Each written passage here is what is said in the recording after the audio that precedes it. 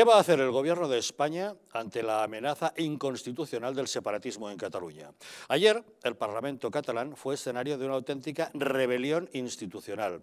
Los diputados separatistas aprobaron diversas resoluciones, por ejemplo, reprobando a la Guardia Civil y exigiendo su expulsión de Cataluña, pidiendo el cese de la delegada del Gobierno, exigiendo una amnistía para los golpistas, pidiendo la libertad de los comandos de los CDRs que han sido detenidos por fabricar bombas y siguiendo el camino hacia la independencia de Cataluña.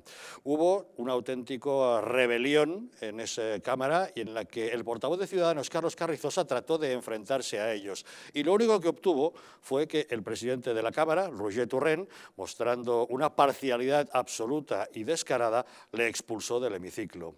Hoy, la ministra de Justicia, Dolores Delgado, ha dicho que el Gobierno se estaría planteando la aplicación del artículo 155 en caso de que se den las condiciones necesarias. Y la ministra portavoz Isabel Cela, después del Consejo de Ministros, ha asegurado que el Gobierno impugnará todas esas resoluciones que se consideran ilegales. La verdad es que la situación en Cataluña es preocupante desde el momento en que el separatismo ha decidido iniciar la senda de la violencia terrorista. Así las cosas, nosotros les preguntamos hoy, ¿debería el Gobierno de manera inmediata aplicar el artículo 155 e intervenir la autonomía de Cataluña? Es el asunto principal del que nos ocupamos hoy en Distrito Televisión. Bienvenidos a Los Intocables. Cables.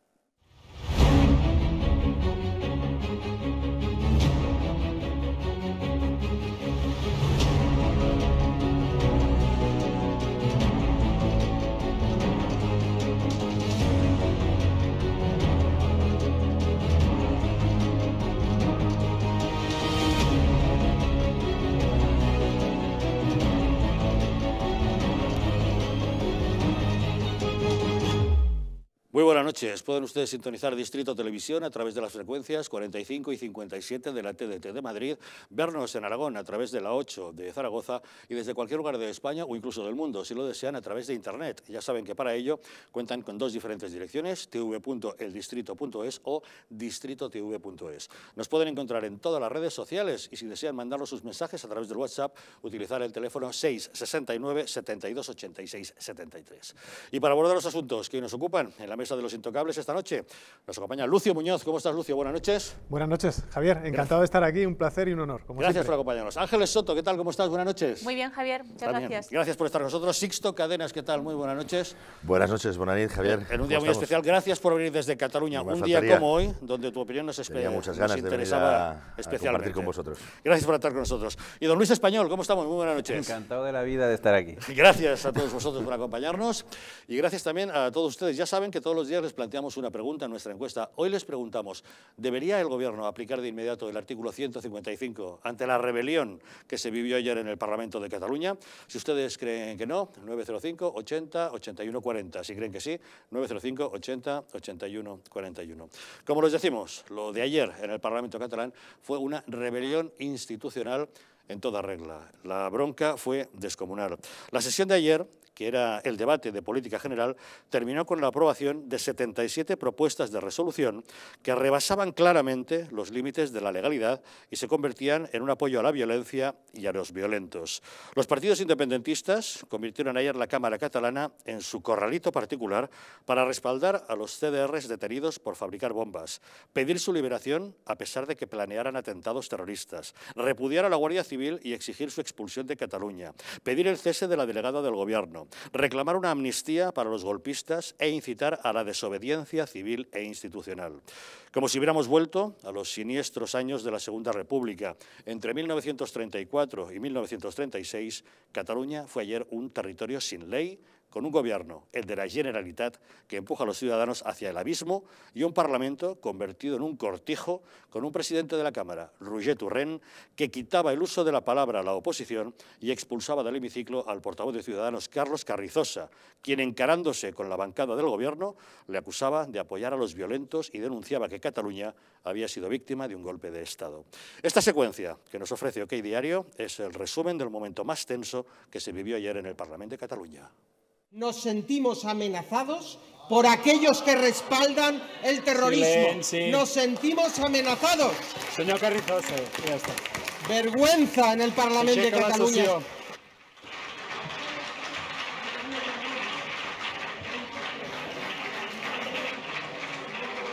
Silenci, silenci, silenci tothom. Silenci tothom. Senyor Carrizosa, senyor Carrizosa, crido l'ordre. Senyor Carrizosa, Carrizosa, senyor Carrizosa, l'he dit que si el tornava a cridar a l'ordre l'expulsava de l'hemicicle. Si plau, marxi de l'hemicicle.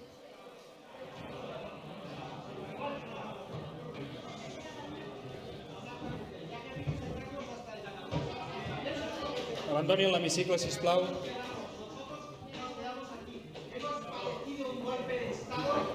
Senyor Carrizosa.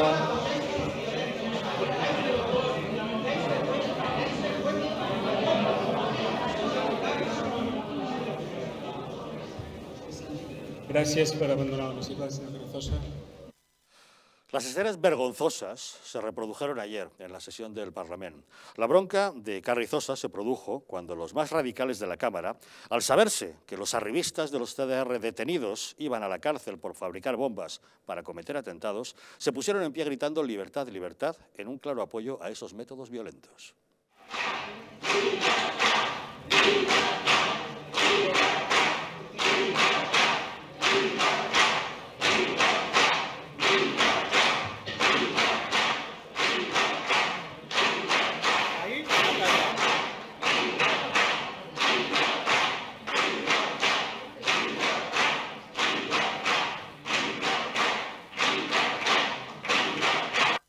El Gobierno de España ha decidido impugnar todas esas propuestas de resolución que fueron aprobadas ayer por la Cámara catalana y que incluían el repudio y exigencia de expulsión de la Guardia Civil, la demanda de amnistía para los golpistas, la puesta en libertad de los activistas detenidos por fabricar bombas, el cese de la delegada del Gobierno y la incitación a la desobediencia civil e institucional.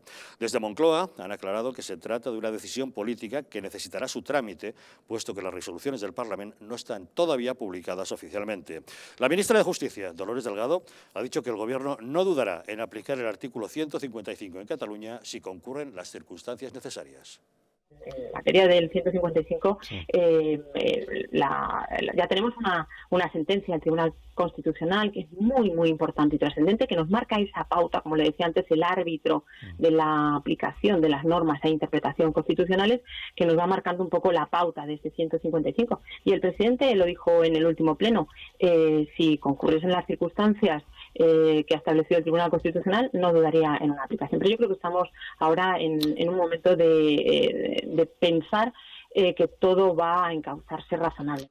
Y la ministra portavoz, Isabel Celá, después del Consejo de Ministros, ha anunciado que el Gobierno impugnará esas resoluciones aprobadas por el Parlamento y que no tolerará los desafíos a la legalidad. El Gobierno ha tomado una decisión política, impugnar varias resoluciones aprobadas ayer en el Parlamento de Cataluña. Para ello, una vez que se publiquen oficialmente, dará instrucciones a la abogacía del Estado para que estudie su contenido y puedan, como digo, ser impugnadas. Y nosotros hoy les preguntamos, ¿debería el Gobierno aplicar de manera inmediata el artículo 155 de la Constitución ante esta rebelión en el Parlamento de Cataluña? Voten, díganos si opinan que no, llamen al 905 80 81 40. Si opinan que sí, al 905 80 81 41. Sixto Cadenas, usted es fundador de Sociedad Civil Catalana, una de las organizaciones una de las organizaciones que más ha hecho en favor de los españoles que en Cataluña sufren el rodillo excluyente del nacionalismo. ¿Qué opinión le merece esa rebelión en toda regla que vivimos ayer en el Parlamento de Cataluña?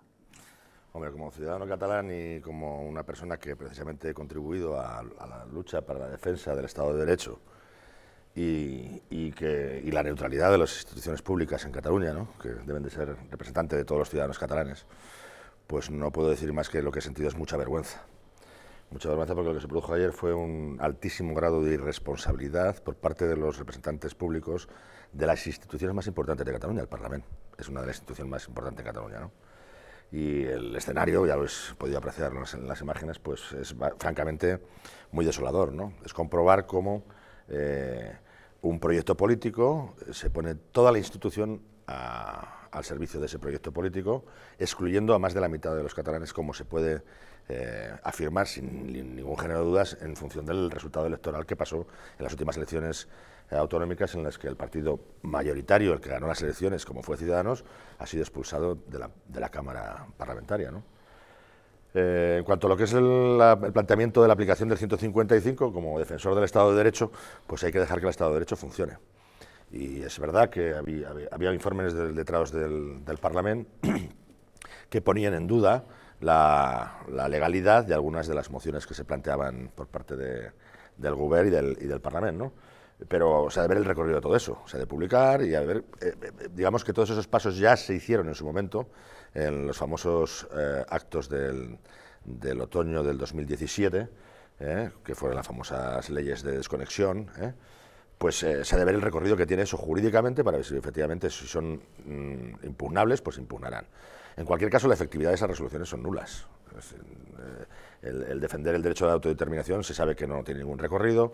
la petición de que la Guardia Civil y los cuerpos y fuerzas de seguridad del Estado desaparezcan de Cataluña eh, no tiene ningún recorrido porque no tienen competencias ni siquiera para ejecutarlo, eh, etcétera, etcétera. Pero es verdad que han podido sobrepasar las competencias propias del Parlamento.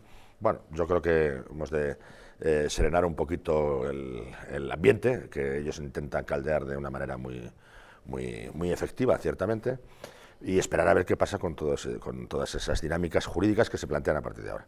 Y efectivamente, si, si de ahí se deduce que se han violentado las leyes y, y, el Estado de Derecho, pues no le quedará más remedio al Gobierno de España, le guste o no le guste, de aplicar el 155, que espero que lo haga con la diligencia adecuada y debida. Ángeles Soto. La verdad que decía Sixto que le daba mucha vergüenza. a mí lo que me da es muchísima pena. Muchísima pena ver que bueno, pues los representantes políticos de los ciudadanos, porque todos los que están en el Parlamento han sido elegidos, como tú bien dices, por ciudadanos de una ideología o de otra, pues tienen ese comportamiento que yo cuando lo veía me planteaba si eso realmente estaba ocurriendo en Cataluña, estaba ocurriendo en España o estábamos hablando de vete a saber un país vete perdido por, por ahí por el mundo. A mí, desde luego, eh, hay cosas que evidentemente está claro que han traspasado las competencias. Cuando hablan de la amnistía, hay que dejar el recorrido, evidentemente, que tiene que tener legal, pero de antemano ya se sabe que algunas de las resoluciones que ayer se plantearon no tienen sentido. Entonces, yo me, yo me pregunto, eh, pero bueno, eh, ¿qué capacidad tienen los políticos ¿Qué, imagen estamos dando a la ciudadanía cuando teníamos que estar trabajando por y para los vecinos, planteando absurdos? planteando absurdos que lo único que hacen es o caldear a la gente, como tú bien dices, o generar esa desconexión de la vida mm, política por parte de los vecinos. La mayoría de los ciudadanos no quieren ahora las elecciones que tenemos el 10 de noviembre. Estamos em, trabajando en un ambiente totalmente alejados cada vez más de la ciudadanía, alejados de resolver sus problemas, eh, sus necesidades de empleo, de mejorar el bienestar a todos los niveles, sanitario, una calidad en la educación, tal.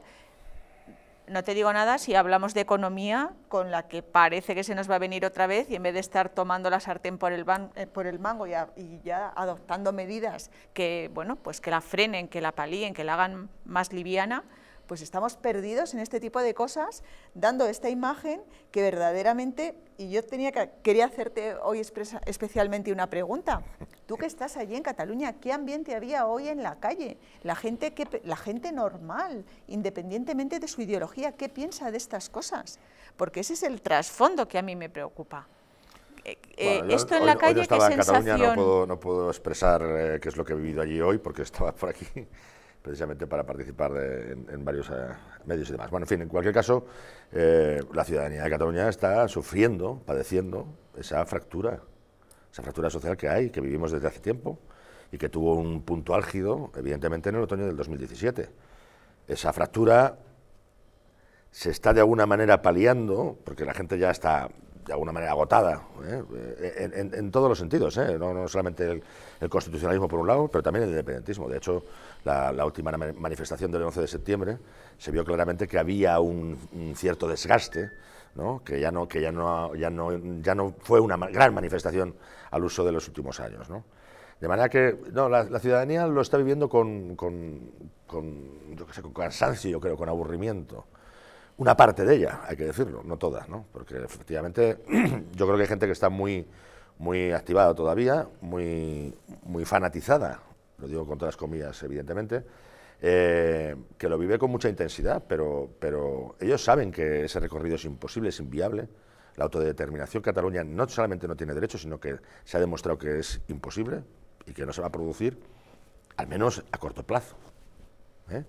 Primero porque no hay un apoyo social suficiente como para poder avalar un procedimiento de esas características. Además, el, el mantener el clima de, de, insurrección que intenta el gobierno de la Generalitat y los partidos independentistas tiene un objetivo claro y es mantener viva la, la esencia que les mantiene en esa posición. Pero nada más, ellos también saben que ese recorrido es inviable y no va a ningún sitio. Y ya lo saben. Lo saben desde el 2017. Lo saben desde la aplicación del 155. Y efectivamente van rayando la, línea roja esa que si la pasan saben que se va a volver a aplicar el 155. Pero esa línea roja que yo no sé, no tengo la seguridad de que ayer se sobrepasase.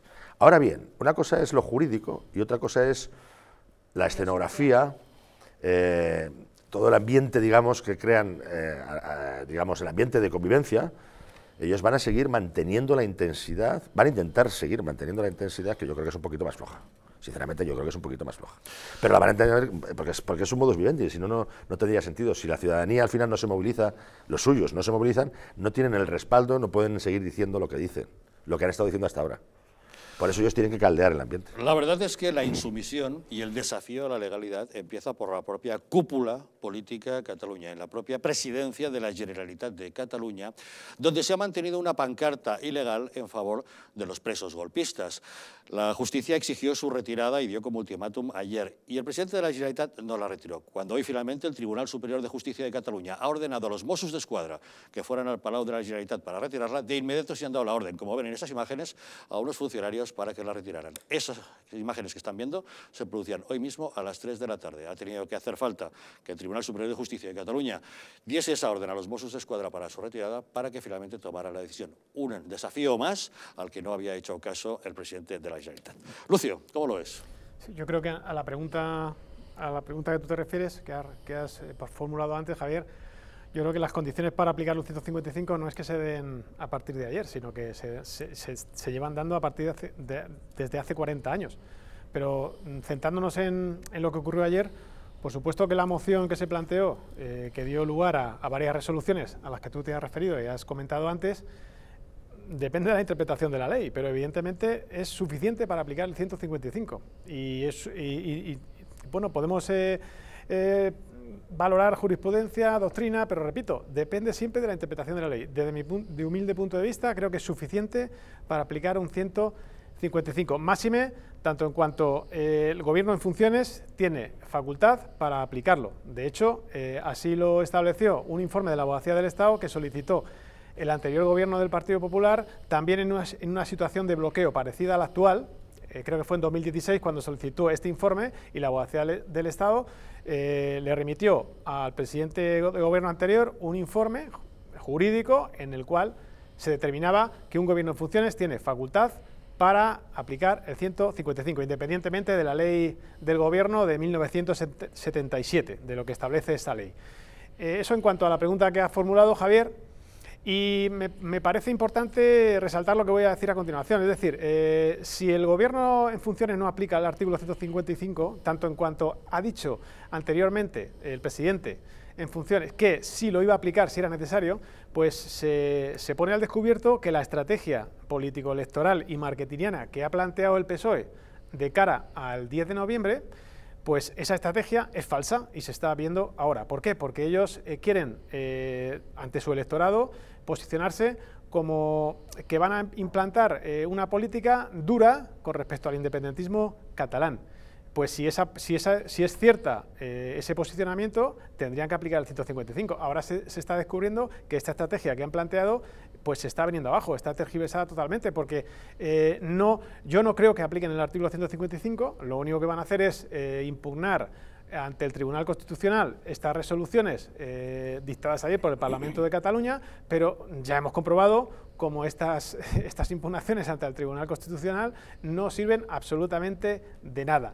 Por tanto, esta estrategia del Gobierno es falsa y se está demostrando ahora. Eh, ¿Qué ha pasado? Pues que estos acontecimientos pues, han precipitado, eh, han precipitado pues, que la estrategia eh, sea, ridícula, porque ellos no, se esperaban, no se esperaban la operación judicial que, mm, que, provocó la detención de los, de los terroristas de... La Operación Judas. La Operación Judas, exactamente, Javier. Eh, y entonces, como ellos, ellos sabían que había una operación en marcha, pero evidentemente no sabían cómo se iba a desarrollar esa operación, me refiero al, ministro Malaca. Entonces, esta situación les ha pillado de, imprevisto. Entonces, eh, se han precipitado los acontecimientos. Ellos planeaban que a partir de la sentencia del 1 de octubre sí podía haber pues, eh, problemas pero no se imaginaban que esos problemas se iban a delatar. Por tanto, la estrategia del gobierno se está viendo, quien la haya diseñado, los estrategas del PSOE, se está viendo que es falsa. Ellos pensaban que eh, la ciudadanía se iba a tragar que eh, el PSOE iba a implantar una política de dureza. No, estamos viendo cómo es mentira, porque ellos piensan que podrían pactar con el independentismo tras el 10 de noviembre. Es posible que tengan que pactar con, el 10, con ellos, aunque no quieran en principio, pero es posible que sí. Por tanto, nunca van a molestar al independentismo tanto en cuanto son sus socios. Y, lo, que, has dicho tú, Ángeles, eh, hay otra estrategia que le va a salir mal, que es la económica, porque veremos a ver eh, cómo se desarrollan los acontecimientos en el aspecto económico en este mes y medio que queda para las elecciones. Por tanto, mm, ya veremos a ver si no le pasa factura. Espero que sí, les pase factura al PSOE, tanto la estrategia errónea que se ha visto que es falsa mm, en relación al independentismo, como la, como la económica a la que tú te has referido, Ángeles. Don Luis Español. Pues comparto la tristeza de mis contertulios, es, es algo desolador y al mismo tiempo lo veo ya con cierta distancia porque este rollo ya lo tenemos ya muy visto. Es decir, yo creo que se ha evocado precisamente la solución judicial, dejar que las instituciones funcionen, dejar que los jueces hagan su trabajo, que la policía haga el suyo. Pero claro, el poder, el poder tiene una regla fundamental y es la política de los hechos. Tenéis ahora un presidente en Venezuela que es el presidente legítimo, el presidente Guaidó, que ha sido reconocido por prácticamente toda la comunidad internacional, hablo de la comunidad democrática, no tiene el poder. Maduro es el que tiene el poder porque es el que tiene el petróleo, el que tiene los dólares y cada día va a tener más poder y cada día es más rico porque está subiendo el precio del petróleo. ¿Y quién tiene el poder en Cataluña? ¿Lo tienen los jueces? Hombre, ellos emiten sentencias. ¿Se cumplen esas sentencias? Cuando las, las tienen que, aplicar la, la, policía o la Guardia Civil, sí. Si las aplican los mozos de escuadra, ¿se aplican? No lo sé. ¿Son fiables? ¿Son fiables las instituciones policiales? ¿Son fiables las sentencias judiciales en Cataluña? Hemos llegado hasta ese punto en que dices que los que representan el Estado, porque los que representan a España en Cataluña son esos tíos. Bueno, Luis, históricamente, sentencias del Supremo y del Constitucional en materia lingüística no han sido respetadas. Efectivamente, han hecho avioncitos de, papel con ellas, han hecho avioncitos, han hecho barquitos de papel. Yo os digo una cosa, quiero evocar otra posible solución. Es decir, vosotros habéis hecho una, a mi juicio, excelente exposición de lo que dice la razón. La razón dice que, aplicando la ley, se puede solucionar de la ley a la ley esta situación. Yo creo que también tenemos que evocar otras posibilidades y otra posibilidad es hacer un discurso rompedor, porque en política lo que triunfa no es el discurso de la impotencia, no es el discurso de no podemos evocar esto, no podemos hacerlo, eso no funciona. Si lo que le funcionó a Obama fue yes, we can. Lo que le funcionó a Pablo Iglesias durante un tiempo fue podemos. Es decir, el discurso de la potencia, el discurso de podemos tomar medidas. Bueno, pues podemos cambiar la Constitución, podemos suprimir las autonomías, podemos devolver al Estado las competencias educativas. ¿De qué sirve el estar con una regadera diciendo, bueno, es que este incendio, si llega aquí, yo con mi regadera, que es una sentencia del Tribunal Supremo, voy a apagar este pequeño fuego? No, yo pienso que tenemos que acabar con esa máquina de fabricar incendiarios. Porque ¿de dónde salen esos terroristas? ¿De dónde salen estos chicos que estaban preparando atentados?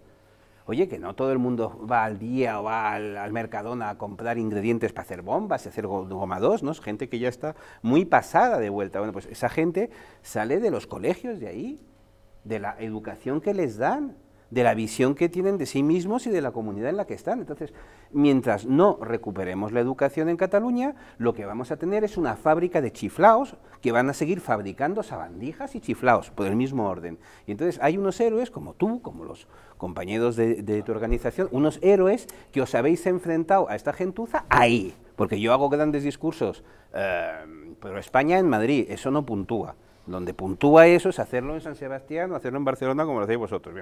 lo que estoy diciendo es que tenemos que pensar en que nuestros políticos nos tienen que representar no solo ahora mismo, sino de cara al futuro. Y de cara al futuro no podemos seguir con la España de las autonomías, porque tenemos que, que mirar si ha servido para algo, si ha servido para esa articulación, para articular el Estado nuevo y acabar con los problemas del regionalismo y de los excesos y del nacionalismo y simpatía. No, ha servido. Tenemos un Parlamento en estado de sublevación permanente como el catalán. Oye, que representan el Estado. Ellos también son, son España, ellos también son el Estado español y están contra España unos representantes de España. Es una situación intolerable y es una situación que lo que exige no es decir, como ha dicho la ministra de Justicia, bueno, sí, vamos a coger, bueno, es su trabajo, es ministra de Justicia, pero exige también un discurso político y un discurso político diciendo mm, que no nos sigan tocando las narices porque podemos evocar otras soluciones y no es el artículo 155 o el 266 que no existe, no,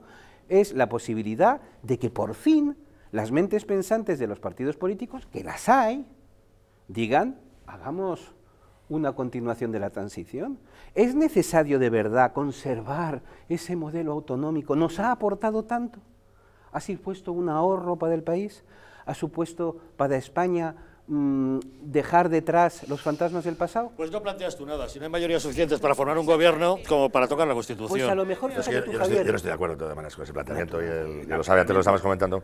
Hombre, hablar es muy... Es que, claro, buscar soluciones mm, sencillas a, situaciones complejas pues es, propio del populismo, no propio de las personas eh, racionales ¿no? y que tienen, y que tienen digamos, en mente la construcción de cosas eh, positivas. ¿no? no, las autonomías, hombre, las autonomías han tenido cosas positivas y cosas negativas. Claro, sí. Pero no porque haya habido cosas negativas, tengamos que decir por fuera las autonomías. Habrá que, como hablaba antes, de, alguna manera, lo que hay que hacer es una auditoría seria, honesta, sincera, de qué de que ha hecho el sistema de las autonomías en nuestro país, ¿no? Para qué ha sido bueno y para qué ha sido malo y cómo podemos mejorar ese sistema o a lo mejor cambiarlo también, no digo que no quepa en esa discusión, ¿no?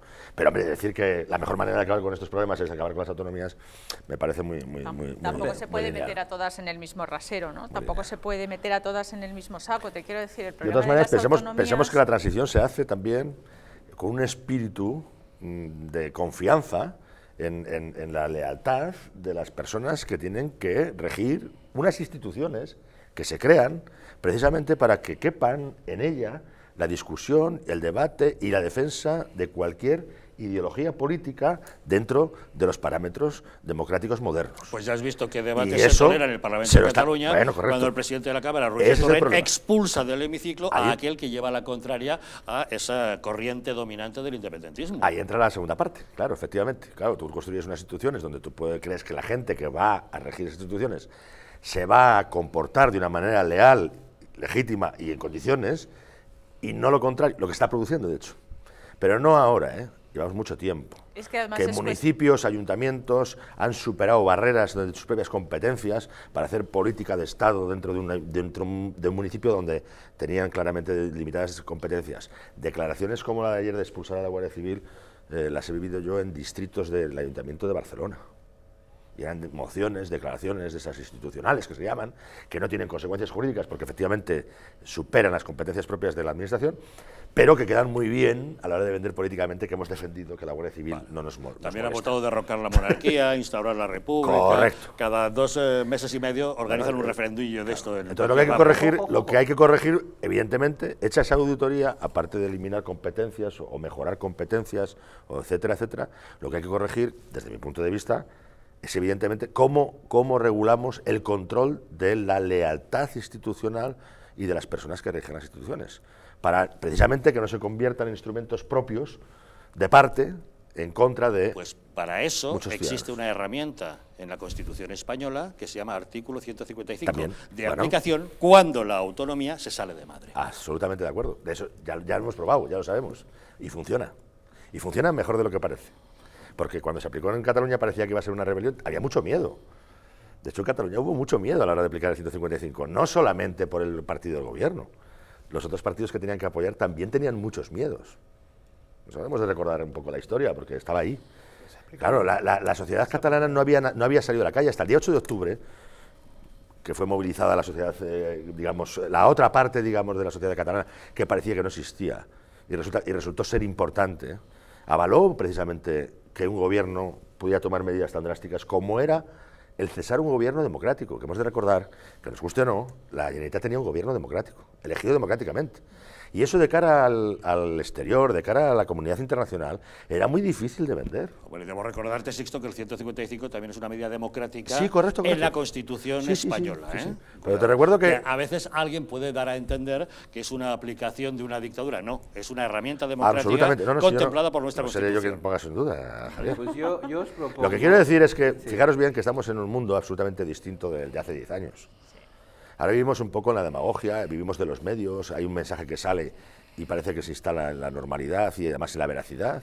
Eh, la posverdad es un, es un término que se acuñó hace cuatro días, ¿no? Sí, antes se llamaba mentira. efectivamente, entonces, claro, decir que España era antidemocrática era muy fácil si un gobierno constituido democráticamente es sustituido sin alguna justificación democrática, por mucho que estuviera en la Constitución, Javier. Es decir, ¿hay un apoyo ciudadano a esa medida? ¿Lo hay de verdad? Y eso el 8 de octubre se demostró en la calle. Si no hubiera pasado eso, la dificultad hubiera sido mucho mayor, ¿eh? Sin lugar a dudas, ¿eh? Sin lugar a dudas. Pues yo os propongo algo de muy democrático que es un nuevo proceso constitucional. El proceso constitucional de los años 70 ha quedado, a mi juicio, completamente superado. No ha funcionado la Constitución como queríamos que funcionara. Es cierto lo que decías tú, hay autonomías normales. Claro, con gente normal se hacen autonomías normales, pero con anormales no puedes. Entonces, si tú fabricas anormales, es muy difícil que eso se tenga una solución. Entonces, tenemos que pensar en un nuevo proceso constitucional y eso además es un discurso que hay que mantener públicamente para que le vean las orejas al lobo los malos. Porque los malos, si piensan que nadie de los buenos, por simplificar, va a evocar este tipo de cosas, pues ancha, vamos, se comen el trigo ellos. Tenemos que ser capaces de ser nosotros los exagerados hacer como dicen muchas veces el cambiar el tablero, ¿no? Si la, si, la jugada no te gusta, pues hay que cambiar el tablero, hay que hacer una jugada zen, decir, oye, podemos cambiar la Constitución, pero no en el sentido que vosotros apuntáis, sino en el nuestro. A lo mejor entonces deciden respetarla. No lo sé, porque yo no me voy a poner en su lugar, porque tendría que, no sé, eh, perder mucho cerebro de golpe, pero realmente tenemos que mantener un discurso posibilista. Y un discurso posibilista es decir, ah, bueno, pues sí, ¿Podemos cambiar la Constitución? Con respecto al 78 y, bueno, pues a la transición, yo creo que ahora eh, falta un elemento importante que entonces sí existía, que era por parte de todos, pues esa voluntad de crear una España en la que todos tuvieran cabida, en la que todos eh, bueno, pues pudieran estar representados, se pudieran aplicar políticas diversas en función de, lo que los eh, ciudadanos, pues eh, los partidos que votaran y demás. Creo que ese consenso, ese equilibrio que todos intentaban lograr, ahora mismo no lo hay. Ahora mismo tienes mucho descerebrado, como tú muy bien dices, que tiene, viene defendiendo unas ideas y unas políticas que son absolutamente inalcanzables, mm, basadas en los populismos, y luego tienes, pues evidentemente, la gente seria y responsable que también milita en los partidos políticos y que lo que quieren es aplicar cosas sensatas y propuestas positivas para el conjunto de la ciudadanía y que tienen que ser ilusionantes, porque el gran problema de esa gente seria es que no es capaz de vender ilusión. Porque muchas veces mantenemos un discurso de tipo eh, legalista, hablamos de artículos, hablamos de leyes, con eso, eso no es el bardo, eso no es la ilusión, eso no es la poesía. Es decir, es exactamente, es muy cierto lo que has dicho. En los años 70 había ilusión, es decir, las personas que, que hicieron, pusieron de pie la, la Constitución española, y que pasaron del franquismo a algo nuevo y algo que funcionó en ese sentido, tenían ilusión. Yo me acuerdo de mi padre, la ilusión con la que él, que pobrecito, era del año 22, y cuando, y cuando murió Franco ya tenía 53 años. La ilusión con la que esa generación vio la posibilidad de hacer una España mejor, para todos, más justa, más democrática. Oye, pues hay que recuperar esa ilusión. ¿Vamos a recuperar la ilusión diciendo que el artículo 155 no articula bien? No. Tenemos que decir, hay una ilusión, llamémosla España. Nuestros adversarios tienen una ilusión, se llama Cataluña. Nosotros tenemos otra ilusión. Yo, yo tengo esa ilusión. Una España, la ilusión España. Tenemos que hacer un proyecto España una España hacia adelante, una España estupenda, europea, que se articule dentro del mundo y que no sea como esta gente es anti-europeísta, anti-españolista, anti-todo, porque, porque, bueno, porque piensan como sabandijas y como paletos que son. Pues son paletos, no son otra cosa. Mira la ilusión que se les ha trasladado en esta semana apoyando eh, a los terroristas, porque evidentemente estaban haciendo. Pero para ellos son héroes, son héroes, son héroes. Son los, los, los, elfos de su, de su guerra contra Mordor, que somos nosotros. Ellos llevan 40 años envenenando las mentes de los niños. Pues ¿cómo los van a ver? Si eso yo lo vi en el País Vasco hace ya muchos años.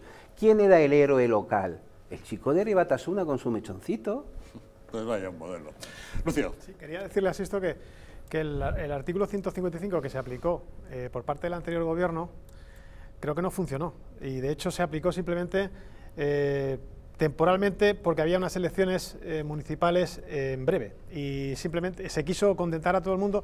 También es cierto que el gobierno del Partido Popular estaba un poco maniatado porque habría que tomarlo vía consenso y se tomó vía consenso, pero recuerdo que Ciudadanos no quería pues eh, bueno, quería simplemente implantarlo para que ellos eh, se posicionaran de cara a las elecciones. Y el, y el, Partido Socialista, si no recuerdo mal, porque estoy hablando de memoria, y creo que el Partido Socialista no quiso intervenir TV3. No sé si fue así o de forma parecida, pero algo... En cualquier caso, este artículo 155 que adoptó el Partido Popular no sirvió para nada, porque si hubiera servido, los acontecimientos que se produjeron ayer, pues no se hubieran reproducido. Y es que no hay más, eh, no hay otra posibilidad para solucionar este asunto que aplicar un 155 duro. Bueno, duro no, porque eh, evidentemente se puede aplicar de mucha manera. Hay una sentencia de este año del Tribunal Constitucional, que no me acuerdo de qué mes, eh, qué mes se dictaminó, pero en cualquier caso, hay la última sentencia en este sentido del Tribunal Constitucional dijo que la única que no se podía aplicar un, un, artículo 155 de manera permanente, pero que el único límite era eh, fijar una temporalidad. Por tanto, según esta sentencia, el artículo no, no, no, es verdad. Sí, sí, sí. Es no, no, dice que se puede. Bueno, no sé, la resolución es mucho más amplia y hay que leerla en su literalidad, ¿no? Efectivamente dice que no puede ser atemporal, es decir, has de marcar un mínimo y no pasa nada si lo tienes que prorrogar o si lo tienes que no, no sé qué. determina el límite, es decir, ¿eh? eh no lo determina el límite. No, no, no, no, no, no, pero que tiene que haber un límite, sí. Sí, un o sea, límite. El Tribunal Constitucional dice, hay gente que dice que un, un, un 155 eh, sin, sin, limitación de tiempo y el Tribunal Constitucional dice que no. Exactamente, lo que, que no puede yo. ser. No, no, hay, tiene que haber un tiempo claro, y tiene que haber unas condiciones determinadas. Exactamente. No puede ser de cualquier manera. Un 155 no lo puedes hacer alegremente. Sí, un límite, pero que pueden ser 10 años. Es constitucional, claro. Un límite que puede solo la, la sentencia dice que, hay, más o que hay menos. que fijar el límite, pero no dice cuál es el límite. No, pues se puede fijar un 155 de 10 años. Otra cosa es que se pudiera eh, plantear bueno, así. Yo creo, que, pero yo, que, creo, yo creo que, como todo, al final tiene que ser todo razonable. Es decir, un límite de 10 años es razonable. Pues no lo sé. Un límite de un año es razonable y en función de lo que pase dentro de un año ampliarlo y prorrogarlo, pues probablemente sea más razonable. Es decir, al final el Constitucional lo que está diciendo es que el 155 no es un artículo que se pueda, que, que, que se pueda usar a capricho. Sí, correcto. De, de, hecho, de hecho, Rajoy tiene ese problema. O sea, Rajoy no puede aplicar el 155 a capricho. Y eso que las presiones que sufrió Rajoy en ese momento, mmm, ya puedo asegurar yo que no fueron menores, sinceramente. Y nosotros fuimos uno de los que presionamos también en su momento. Rajoy no tenía mayoría claro. para. Primero, para primero porque, porque, insisto, porque nosotros estábamos en el foco, quería, estábamos pero... en el foco internacional, nos gustara o no. Ellos sí que habían conseguido ponernos en el foco internacional. Y claro, si queremos ser una democracia homologable y, y, y con todo fundamento, no podíamos, no podíamos cometer errores. Y esos miedos pues llevaron a tener mucha excesiva prudencia probablemente, Sí, no, no lo niego, ¿eh? pero, pero, hay que, pero hay que ponerlo en el contexto real del momento. Es decir, había el foco internacional en España en ese momento, era brutal. Sociedad Civil Catalana tuvimos en esa semana del, del, del 1 de octubre al 8 de octubre de la manifestación, tuvimos no sé cuántas cientos de entrevistas con medios internacionales que se preocuparon por el tema cuando no había pasado antes. no sé si me explico. había un foco internacional en qué estaba pasando en España, en una región como Cataluña, que podía romper una democracia que parecía que era una democracia pero para eso la política de comunicación... Entonces, cualquier movimiento que se hubiera hecho en falso o cualquier movimiento que hubiera puesto en duda, aunque fuera legítimo, legal y todas estas cosas, hubiera derruido una, una base fundamental del, del, triunfo del 155, que fue que ninguna, ningún país de la comunidad internacional apoyó el momento proceso. Yo lo veo claro, eso era importante mantenerlo. ¿eh? Yo lo veo de otra manera. Hay una política de comunicación por parte de un gobierno que está destinada a explicar precisamente cómo se aplica el artículo 155 y que es constitucional. Eso se explica a la comunidad internacional. Eh, la única solución para solucionar este problema es aplicar el 155 e intervenir todas las administraciones de la comunidad. Y perdón un segundo, me has dicho de, TV3 y me gustaría hacerte una puntualización. Porque eso de TV3 eh, se ha instalado la idea de que, de que fue una concesión al Partido Socialista, que lo fue. De hecho, hubo una, una parte de concesión. Pero yo eh, os confieso que hubieron voces de profesionales interpreto que, por lo por lo que conozco y tengo confianza en ellos, eh, que era muy difícil intervenir TV3. Fíjate, ¿eh? O sea, era muy difícil aplicar el 155 para la intervención de TV3. Y lo dejo ahí, sin más. Si hace falta algún día, te traigo al el responsable experto en, esos, en esas materias para que te explique que efectivamente intervenir TV3 era un escollo porque no estaba claro ni siquiera en las filas del PP, algunos mmm, discrepaban de que se podía hacer con, insisto, ese foco internacional que teníamos encima. ¿eh? Bueno, ante los últimos acontecimientos, nosotros hoy les preguntamos, ¿debería el Gobierno aplicar de manera inmediata el artículo 155 de la Constitución después de esa rebelión vivida ayer en el Parlamento de Cataluña? Si ustedes creen que no, 905 80 81 40. Si creen que sí, 905 80 81 41. Y lo más preocupante de la deriva soberanista que está viviendo Cataluña es que, al parecer, ese independentismo radical ha iniciado la senda de la violencia terrorista. Pausa y los contamos.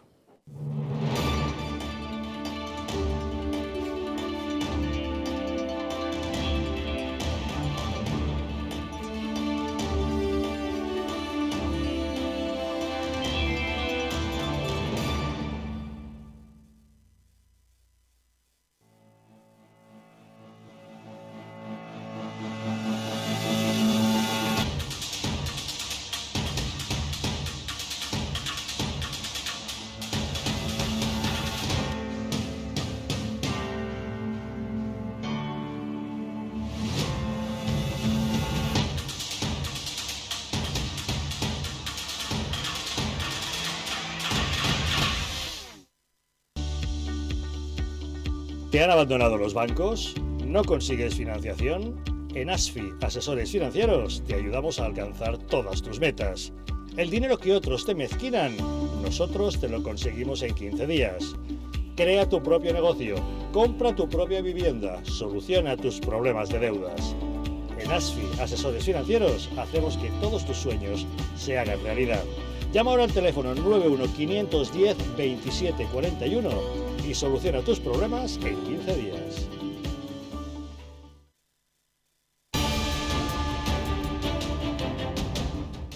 ¿Estamos en un auténtico Estado democrático o estamos en una patritocracia?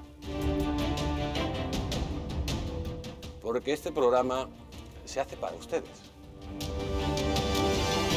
La ciudadanía está quedando atónita lo que estamos viendo. Vamos a ver cosas que nunca se imaginarían. Lo que ha pasado en España demuestra que Falconetti no es tonto. Que la democracia, ¿qué es lo que es, amigos? El imperio de la ley. Esta izquierda rancia lo que quieren es exterminar todo aquello que no piensan exactamente igual. El castigo va a ser terrible para todos los partidos. Porque se avecina una crisis de unas dimensiones estratosféricas.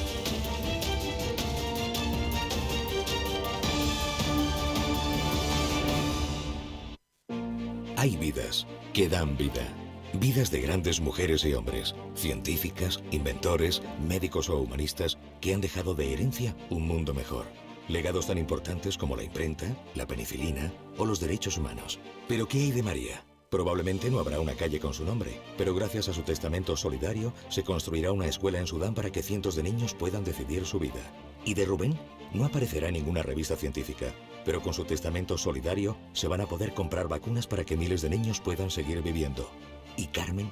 Seguramente no aparezca en los libros de historia, pero con su legado se podrá liberar a muchos niños reclutados por grupos armados. Al igual que Carmen, Rubén y otras grandes personalidades, tu vida también puede dar más vida dejando un legado que proteja la infancia de miles de niños. Súmate a Vidas que dan vida incluyendo a UNICEF en tu testamento. Pide tu guía informativa en el 900-907-500 o en testamentounicef.es y convierte tu testamento en un testamento solidario UNICEF.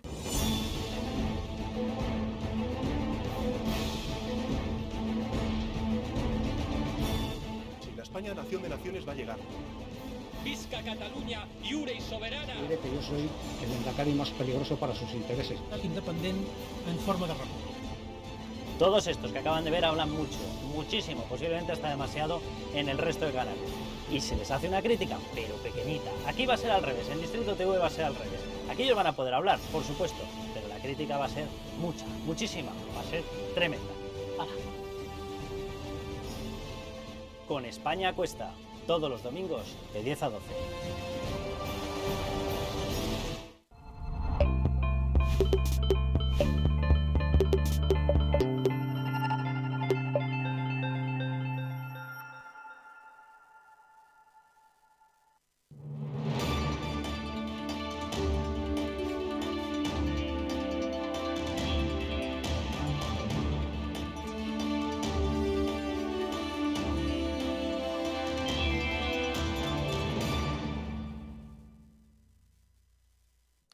¿Debería el Gobierno de España aplicar el artículo 155 de la Constitución eh, tras la rebelión de ayer en el Parlamento de Cataluña?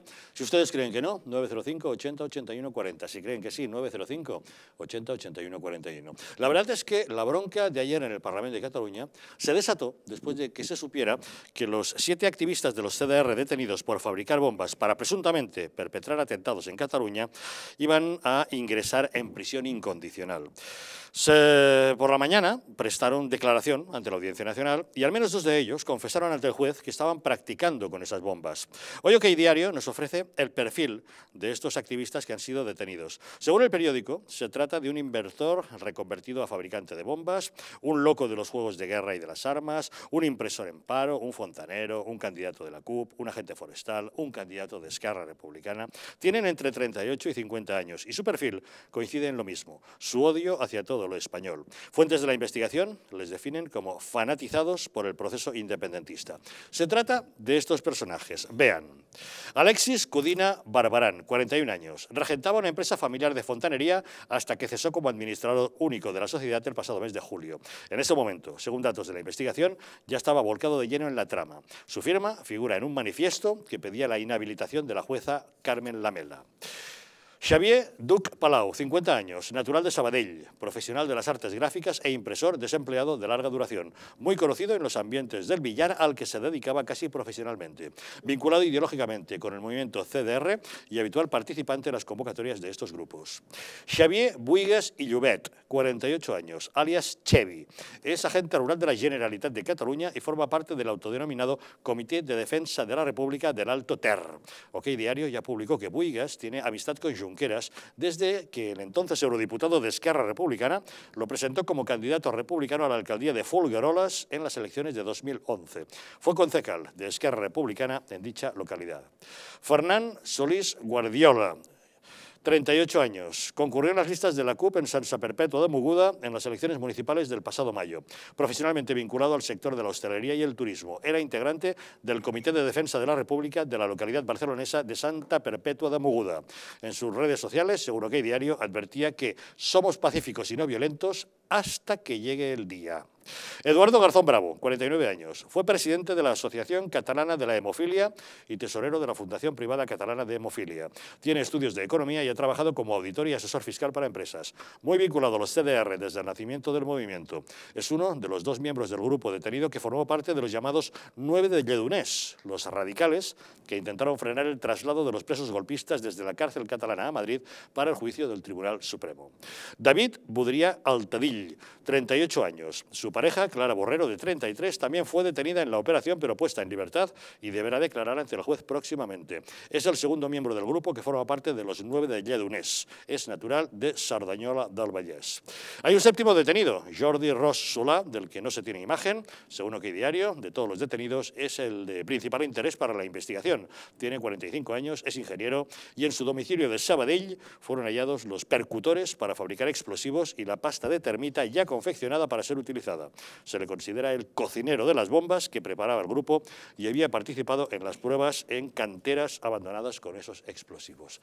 Así las cosas, todo hace pensar que de algún modo el independentismo radical ha iniciado la senda del terrorismo, de la violencia terrorista. Sin lugar a dudas, muchos de los seguidores de los CDRs y de las manifestaciones independentistas no comulgarán con esta violencia, pero que eso ha existido, ahí lo tienen. Afortunadamente, la Guardia Civil ha conseguido interceptarles, detenerles y, por tanto, los atentados que al parecer estaban planificando llevar a cabo en Cataluña. Pero, ¿habrá más de estos individuos? La verdad que, bueno, Dios los cría y ellos se juntan, se han juntado y, cómo han llegado a juntarse, esa es un poco la cuestión que también tenemos que plantearnos cuántas personas eh, comulgan con, este tipo de comportamientos, se están exportando este tipo de, de comportamientos y de deseo de atentar contra las torres eh, de energía eléctrica, contra comisarías, contra todo lo que se mueva, por decirlo de alguna manera. Había planos, por lo visto, por intención de atentar en el Parlamento de Cataluña, en un cuartel de la Guardia Civil, en algunos edificios públicos y en nudos de comunicaciones considerados estratégicos. Mm, torres de alta tensión, alguna cosa así también he leído yo. Pues eh, realmente ese es el modelo que a mí me preocupa. O sea, qué capacidad de extrapolar a la población general, a lo que decíamos antes, ¿no? aquellas personas que bueno, se han sumado al independentismo pues porque ha sido la corriente, porque se ha potenciado a lo largo de los años eh, pues ese sentimiento catalanista independiente con ese odio a España y demás, pero yo no sé si es que soy demasiado ingenua, pero creo que dentro de la gente que apoya el independentismo, no todo el mundo, quiero pensar, estará de acuerdo con conductas incívicas, violentas y, por supuesto, no te digo ya nada, terroristas o de atentar contra bienes materiales o personales.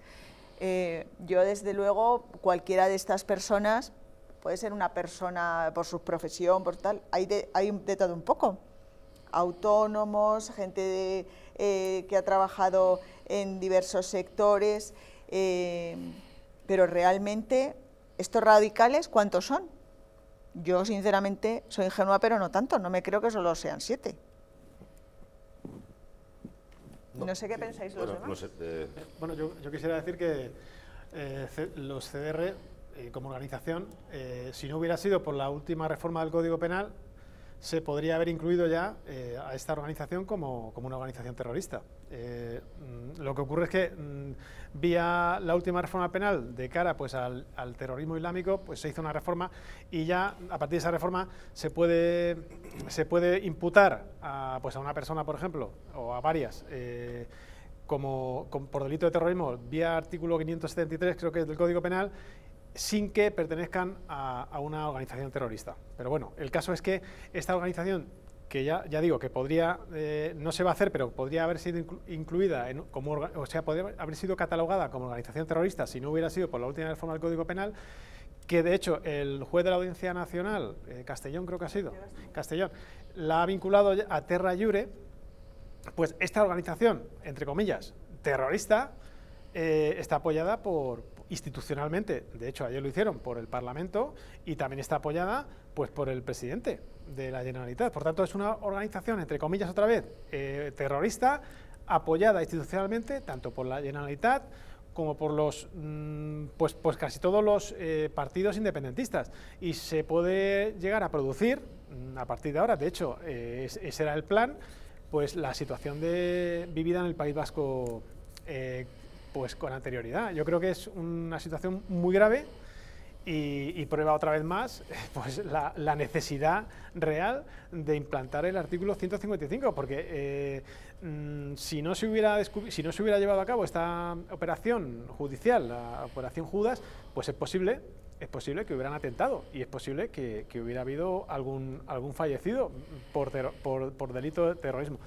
Mm, no sé, yo creo que, que es, una prueba evidente de la necesidad imperiosa que, existe en, Cataluña para implantar el artículo 155 y el problema es que después de Cataluña viene Valencia y después viene Baleares.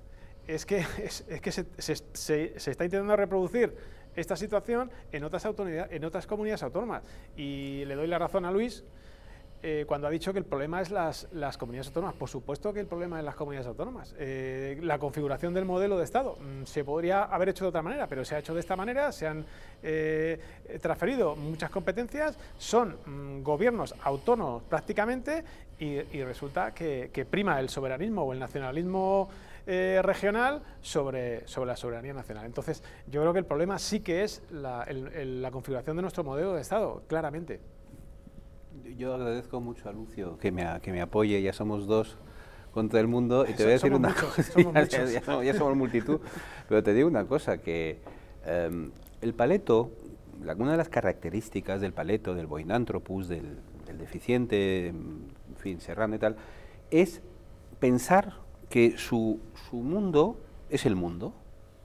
Es decir, ese es el gran problema que tiene el paleto. Entonces el paleto pues es un señor que puede llegar a ser a tener hasta una lectura heroica. Por ejemplo, coges el alcalde de Torrejón diciendo voy a declararle la guerra a Napoleón. Imagínate la gran preocupación de Napoleón en su palacio cuando se enteró de que le había declarado la guerra el alcalde de Torrejón. hay gente que no tiene sentido del ridículo, ni tiene sentido de la... De la, ¿no? la razón no pasa por su cabeza. Entonces, esas personas que ignoran lo que es la razón son incapaces de entender que su chifladura los demás no la comparten. Y has hecho muy bien al hablar del tema del País Vasco. En el País Vasco, oye, durante más de 50 años, ETA ha matado todos los años su cosecha ¿no? de, víctimas, de gente a la que le ponían una bomba, una mina, de gente a la que dejaba manca o coja o ciega o sin, sin hijos. Oye, y no pasaba nada.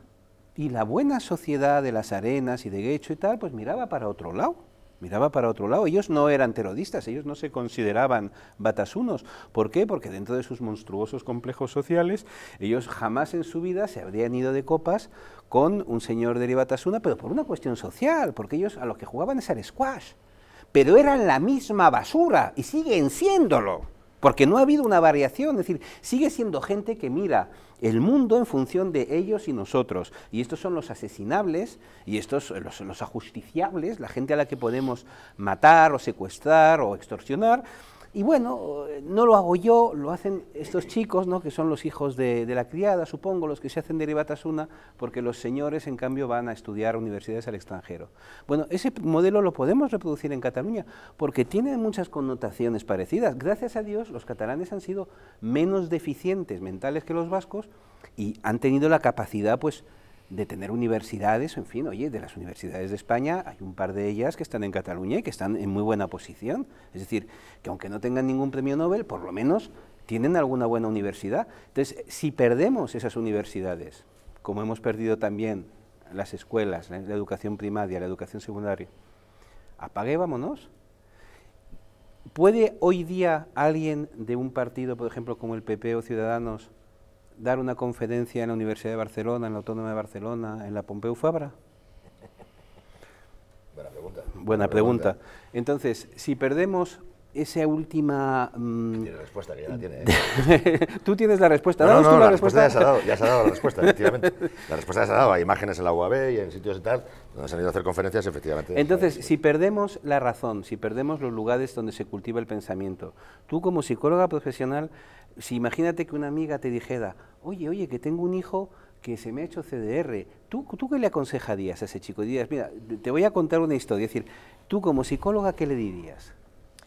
Pues mira, te voy a contar un caso. Hace poco estuve en una boda de unos amigos y había una persona que toda la familia venía, bueno, pues de estudiar en colegios privados, con una educación para nada orientada a lo que pueda ser la izquierda, grupos extremos, nada de nada. Y esta persona es uno de los que defiende pues, los, eh, pues la situación esta que has comentado antes del País Vasco. Y bueno, pues eh, comentaba, si hablaba un poco, ah, estaba en la boda y decía que el novio había sido muy discreto porque un día que habían salido a relucir ciertos temas, pues directamente había dicho, estoy muy cansado, disculparme, me voy a dormir la siesta. Esto lo decía este, este, este hombre. Claro, eh, ¿sabes lo que ocurre? Que es que hay muchas veces que por mucho que trates eh, con personas, o sea, tienes una madre, es como, ¿qué le dices a la, madre que tiene, pues el caso que tú me has puesto, ¿no? que tiene un hijo que, que sabe que es un terrorista? Pues es que muchas veces, con todo el dolor de su corazón, poco va a poder hacer como madre. Salvo denunciarle, salvo ponerlo en, en manos de quien realmente pueda tomar partido. Porque, ¿crees que le va a escuchar por el hecho de ser su madre? Vas a predicar probablemente en el desierto. Hombre, seguro que esa madre lo va a intentar. Yo como le diría, pues mira, intenta ver, reflexionar, a ver si eres capaz de, llevarle o de que te acompañe, bueno, pues hablar con un profesional de lo que sea. Vamos Hombre, Ángeles, te recuerdo que en San Sebastián, ante los destrozos de la calle Borroca, en lo viejo de San Sebastián, cuando los chavales de la gasolina iban incendiando contenedores, en el momento que le pusieron la multa a los padres para pagar el mobiliario urbano destrozado, pero Chomi, ven para acá que te doy un capón y deja de romper cosas. Y se solucionó bastante el tema, ¿eh? O sea que cuidado con eso, ¿eh? Depende de los años que tenga el crío. claro, depende de los... Fíjate, que es curioso, estaba mirando ahora, ¿no? La edad media de los detenidos está alrededor de los 40 y pocos años. Entre 38, y 50. Estos, digamos que no son fruto de la... Todavía no llegan, digamos, ¿eh? son generaciones mucho más jóvenes, las que serían frutos del, del famoso plan 2000 del señor Pujol, ¿no?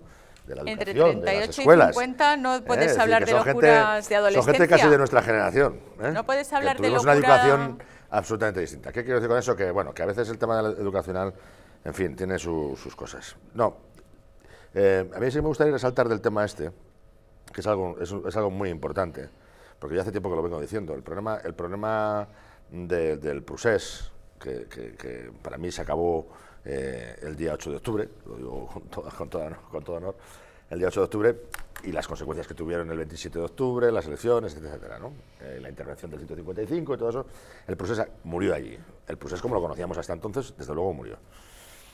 Es verdad que eh, la violencia ha existido siempre en este proceso, por mucho que nos hayan vendido que ha sido un proceso pacífico, que la sociedad catalana es pacífica, bueno, en fin, el, el, punch y, el, y la violencia, mm, digamos, ambiental, como se, determina ahora y tal, ha sido brutal, ha sido absolutamente brutal. Pero es verdad que la violencia, en términos que nosotros hemos establecido como violencia insufrible, es la terrorista.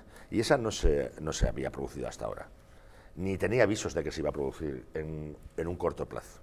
Yo sí que ya lo vengo avisando. Yo vengo avisando de que esa gente esa gente, esos grupúsculos de personas radicalizadísimas, que son fanáticas, pero más allá, mm. ¿eh? que son capaces de morir por la patria, en fin, estamos hablando de los yihadistas, pues estos son más o menos de esa, de esa mentalidad. Es decir, la patria es algo como que se puede morir por ella y hay que matar por ella. ¿no?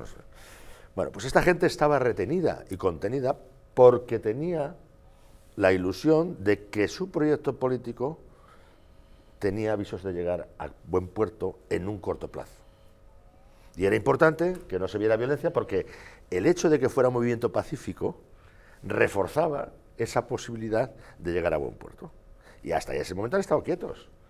En el momento en el que eso desaparece, se diluye como un azucarillo, eh, se han encontrado ahí que, bueno, ¿y ahora qué hacemos? No puede ser. Nosotros tenemos que tener la independencia.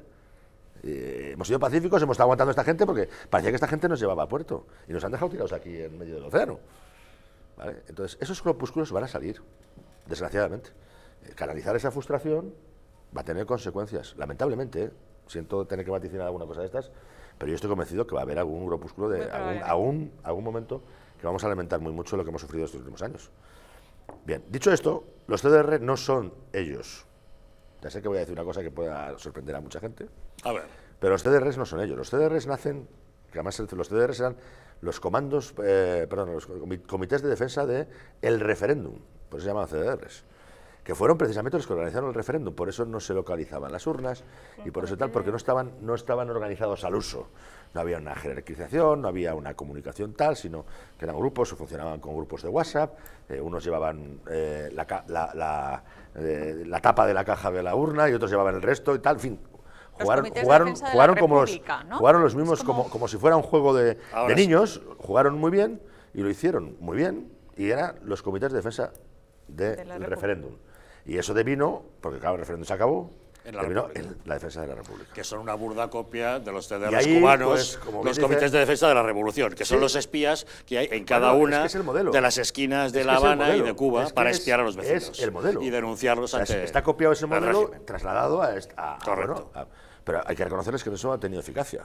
Eficacia. Tampoco gusta Bueno, más o menos, pero estos tiene eficacia. probablemente serán pues los Ahora que bien, ¿qué pasa? Allí, allí se, se había- se apuntaron en su momento la, la mamá del señor Torra, la abuelita, el, el primo, el La tío, hija. el niño, el otro. Y entonces, claro, hay mucha gente metida en los CDRs que nada tiene que ver con esto. ¿vale? Pero están ahí. ¿Mm? O sea, hay que decir que hay gente que poner los CDR, no, hay delincuentes, delincuentes que son delincuentes y que se demostrará si, si es que al final se demuestra que todo eso era cierto y que efectivamente tenían instrumentos para, para crear terror en el fondo, pues hombre, espero que les caiga la justicia y demás. Pero esta gente no son los CDR.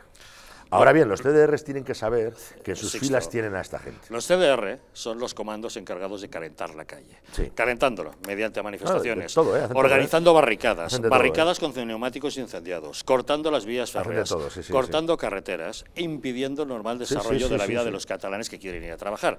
Y dentro de estos grupos, que son el brazo que- ejecutor de mover y calentar las calles, lógicamente es donde han aparecido estos, que resulta que tienen fines violentos y utilizan técnicas terroristas.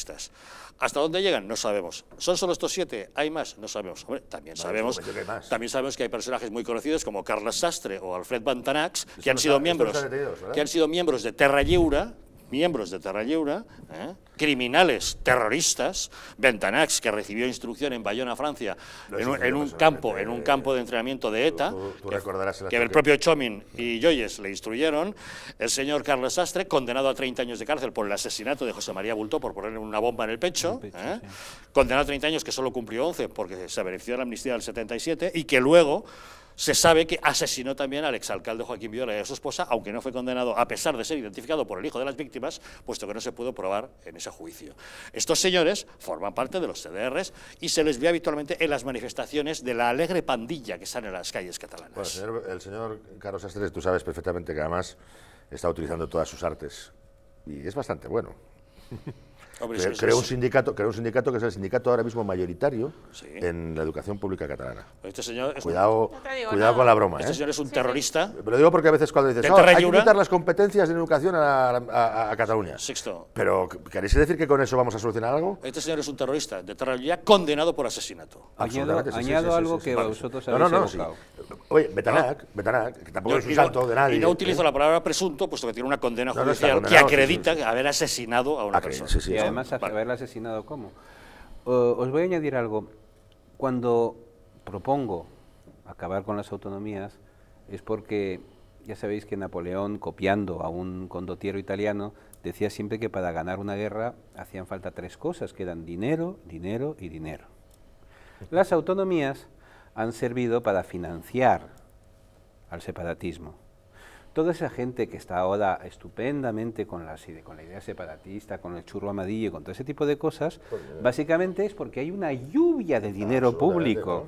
Entonces, si tú suprimes las autonomías, si tú devuelves al Estado central las competencias, pues ya lo tienen más difícil. No digo que no puedan conseguir rascar algo, pero lo tienen más es que eso no es difícil. viable, es que eso no es viable. pero no sé por qué no es viable. Es que te digo, no, ese que es el viable, discurso. el- Eso requiere el una reforma discurso. constitucional. Claro. ¿Por Eso requiere no? una reforma una constitucional. ¿Por no se puede no? hacer de hoy para mañana. ¿Por qué Requiere no? una reforma constitucional donde, como bien apuntaba antes, no sé quién es de vosotros dos, eh, en el 78 efectivamente había ilusión, había consenso social.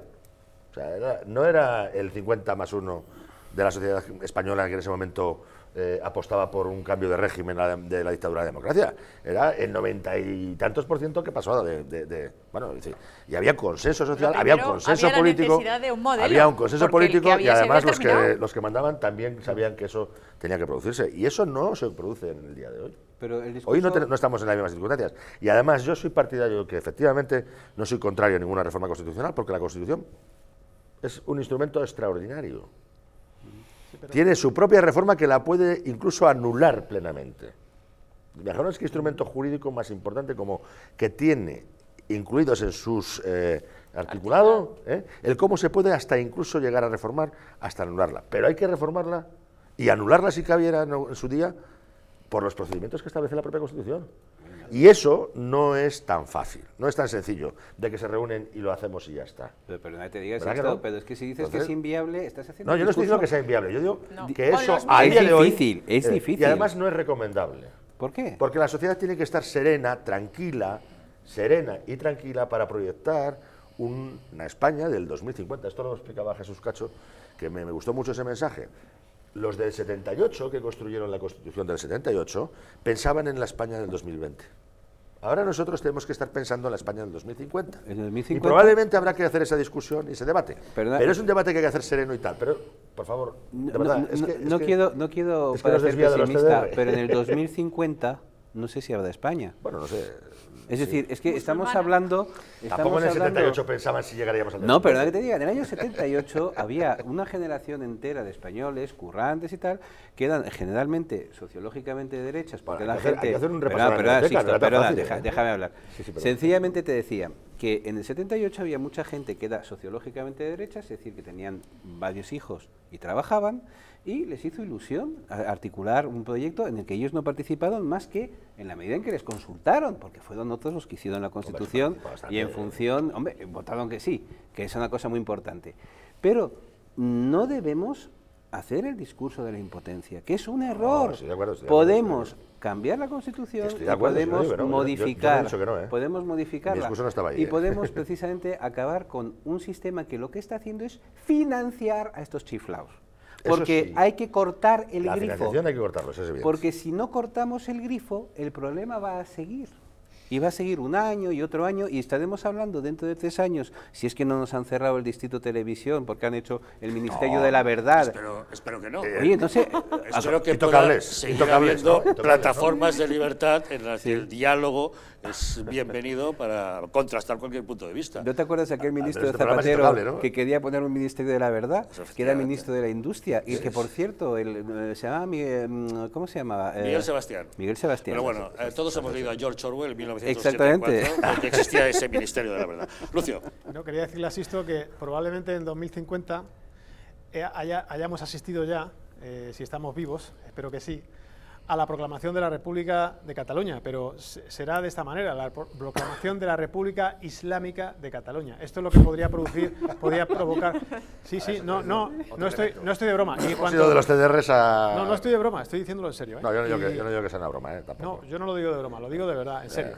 Con datos que no voy a, que no voy a sacar a colación ahora porque evidentemente no estamos eh, hablando de este asunto. Y lo que acaba de decir Luis, eh, estoy totalmente de acuerdo con él. Recordemos eh, bueno, Cataluña está quebrada desde hace muchísimos años, eso lo sabemos todos. Pero recordemos lo que hizo el señor Montoro con el FLA, que vinculó el FLA a pues, que mm, la Generalitat destinara mm, esos fondos a, pues a, asuntos no relacionados con el independentismo. No sé si te acuerdas de ese asunto. Me acuerdo perfectamente ese asunto, mucho, mucho. Pues sí se puede hacer si hay voluntad política. No se quiso hacer en ese momento, aunque se, se, intentó, pero que sí que se podría hacer lo que, lo que ha comentado Luis de manera democrática. Eh, sí que se puede hacer. Y el caso, de quitar las autonomías. El caso es que ante el devenir de los acontecimientos y ante la rebelión institucional vivida ayer en el Parlamento de Cataluña, les preguntamos, ¿debería el Gobierno aplicar el artículo 155 en Cataluña? Si creen ustedes que no, 905 80 81 40. Si creen que sí, 905 80 81 41. Una pequeña pausa y abordamos otros aspectos destacados de la crónica política nacional.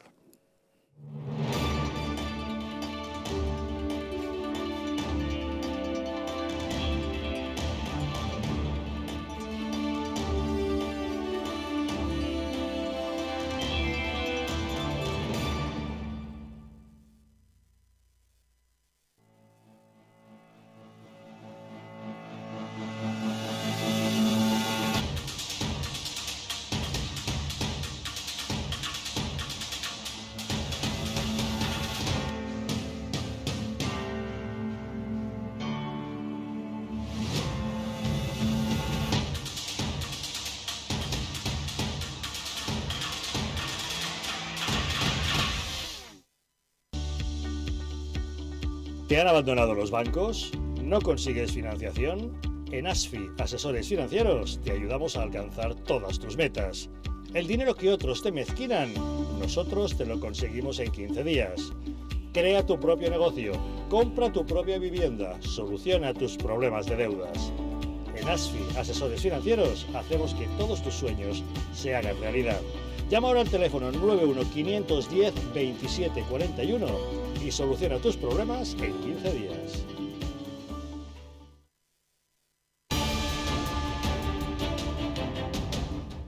¿Estamos en un auténtico Estado democrático o estamos en una patritocracia? Porque este programa se hace para ustedes.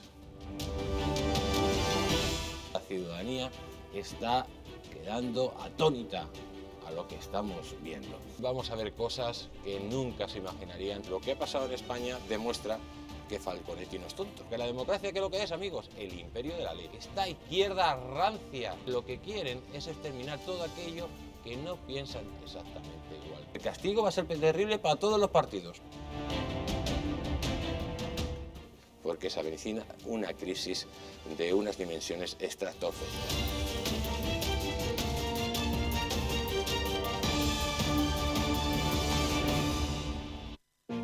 Hay vidas que dan vida. Vidas de grandes mujeres y hombres, científicas, inventores, médicos o humanistas que han dejado de herencia un mundo mejor. Legados tan importantes como la imprenta, la penicilina o los derechos humanos. Pero ¿qué hay de María? Probablemente no habrá una calle con su nombre, pero gracias a su testamento solidario se construirá una escuela en Sudán para que cientos de niños puedan decidir su vida. ¿Y de Rubén? No aparecerá en ninguna revista científica, pero con su testamento solidario se van a poder comprar vacunas para que miles de niños puedan seguir viviendo. ¿Y Carmen? Seguramente no aparezca en los libros de historia, pero con su legado se podrá liberar a muchos niños reclutados por grupos armados. Al igual que Carmen, Rubén y otras grandes personalidades, tu vida también puede dar más vida dejando un legado que proteja la infancia de miles de niños. Súmate a Vidas que dan vida incluyendo a UNICEF en tu testamento. Pide tu guía informativa en el 900-907-500 o en testamentounicef.es y convierte tu testamento en un testamento solidario UNICEF.